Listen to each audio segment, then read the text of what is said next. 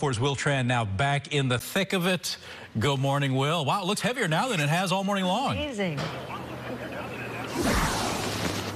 Yes, you can see the joy on my face. I'm joking. It is fun. You don't have to drive to Tahoe to see this. Just drive up to Highway 17, off and on throughout the morning. And now it is on.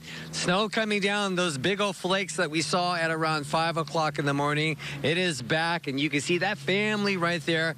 Got to show the little cutie kids. This is snow, guys, and they even have their little boots out there. So it's turned into a little tourist destination for locals. It's quite rare when this happens, right? Look at all the snow on the cars as well. So people pulling over at the summit on Highway 17 just to take some pictures because remember, it didn't happen unless you post it on social media. It is such a big deal that Here's Melvin. He has deliveries to do, but he said, you know what? The customers can wait just a little bit.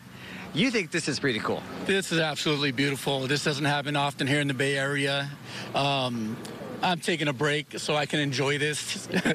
it's real surreal. I'm just real happy to be here. I've never been covered in snow in my life. So whoa, whoa, what? Are you from California? Are you from, from California? I You've am. never been covered in snow? I've been to places where snow's already on the ground, but I've never been snowed on in my life. Oh. So I'm really, really enjoying this. I have a smile from from ear to ear, and uh, yeah, it's beautiful. It just occurred to me what you're wearing is everything this week. So Monday, he was wearing shorts, and then it got windy, so but it was still sunny, so he's wearing glasses on Monday. It got a little windy, so you had to wear a hoodie, and then look at this. He has a jacket today because of the snow. It's California. It is California. You know? It's a mixed bag. Want to show you really quickly Highway 17, and Melvin did tell me he makes deliveries, and inside his truck truck has steaks. So, Melvin, there's my car. If you just happen to load up a few pounds of steak, let me know.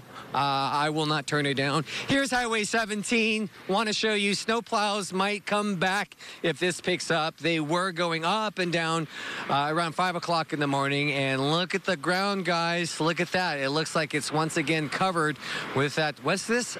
Oh, that's right. That's snow. This keeps up. I'll be reporting from Buffalo what we saw a couple of months ago. Back to you.